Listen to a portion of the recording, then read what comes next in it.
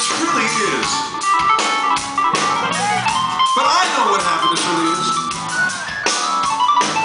Happiness is two things.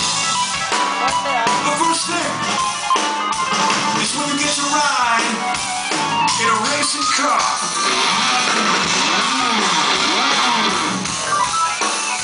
The second thing